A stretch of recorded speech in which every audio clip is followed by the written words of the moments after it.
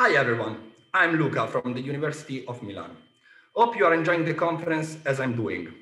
I'm going to present the reliability of MinION device in high quality genome assembly applied to a recently described cross-kingdom pathogen. Everything starts with a European project called U-Plant Control. This project is finalized to create pan-European network of scientists who study pathogens able to move from agricultural products to human. In particular, in our lab, we focus our attention on a specific cross-kingdom pathogen that is the Fusarium musae and is firstly described in 2011. This pathogen was reported to be able to infect banana and humans, as we can see from these three pictures. The hypothesis of the transmission was done for the first time in 2017. And these hypotheses are based on the fact that the first infection occurred on banana and not on human. And then it spread around the world traveling with exported banana. On the 26th of April in NCBI database, 914 genomes were submitted, 31, 41 of which were submitted at chromosome level. Only one of these was a telomere to telomere assembly and was the Fusarium graminearum PH1 strain. All the others has some unplaced contigs. Specifically, in the Fusarium fujikuroi species complex, in which belongs the Fusarium musae, the best assembly is a chromosome level assembly of Fusarium verticillioides and is composed by, by more than 200 contigs. No chromosome level assembly is present for the Fusarium musae species, the only genome available is done using Illumina short reads and include, includes more than 1000 contigs. For this reason, we focused our attention on a Fusarium musae strain isolated from banana. The origin of this fruit was Dominican Republic, and we aimed to produce a good reference for the species, and we decided to use hybrid approach.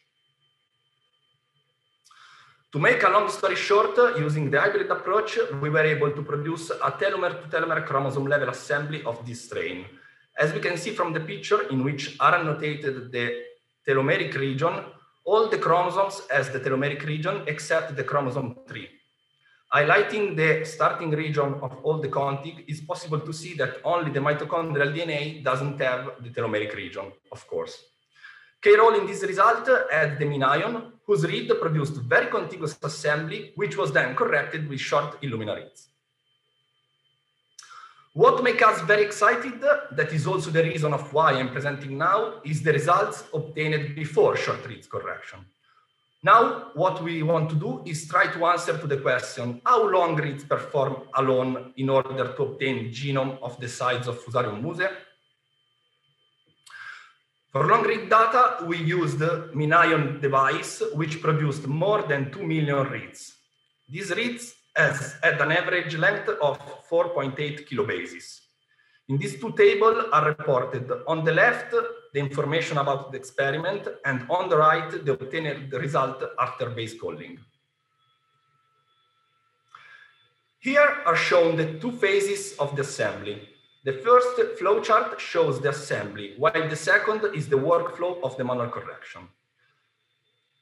Just two numbers to compare before and after manual correction to see what happened. The number of contig decreased very close to the real number, 13, which is the 12 chromosome and the mitochondrial DNA. Also, the number of closed chromosomes increased from 3 to 9. The closed chromosome are chromosomes in which we find the telomeric region at both borders. Here there is the core slide of the work, the statistical analysis among different assembly. The table report on the first column the NCBI strain obtained with short reads. The other three columns include data of our Fusarium musae, and there are in the second the, the best short read assembly obtained by us, in the third, we have the long read assembly of this study, and on the fourth column, we have the hybrid assembly obtained by us. The first parameter on which I want to focus your attention is the completeness. We evaluated this uh, parameter using BUSCO and basing on Hypocreales database.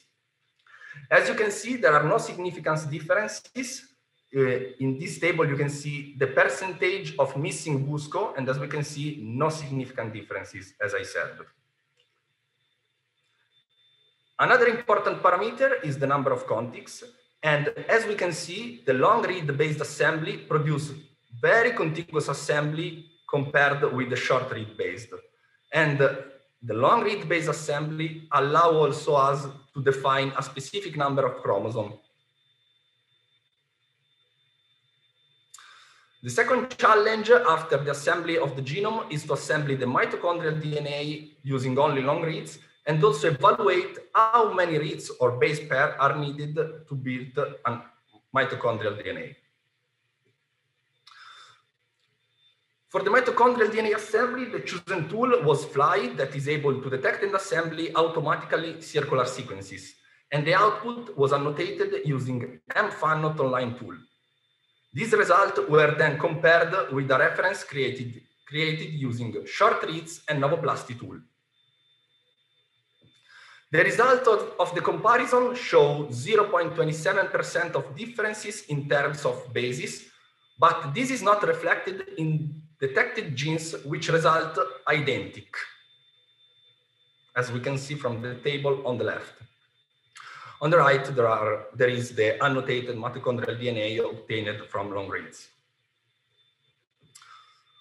Once the mitochondrial DNA was assembled, the last uh, step was to investigate the minimum amount of bases needed to detect appropriately mitochondrial DNA.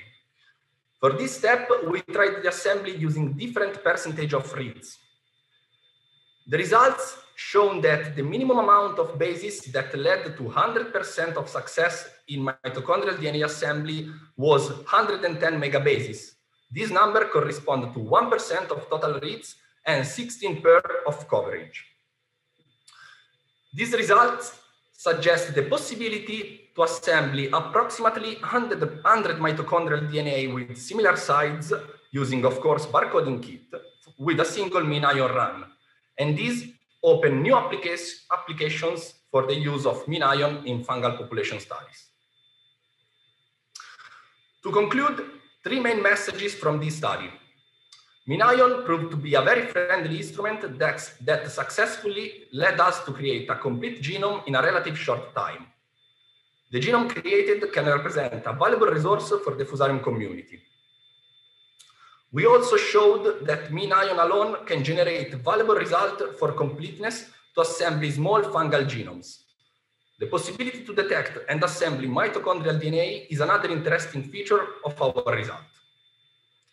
For what concerns our future work, we will explore the genomes of a population of Fusarium musae to understand the diversity of the species and to functionally understand the mechanism related to virulence in the different hosts. Thanks for your attention.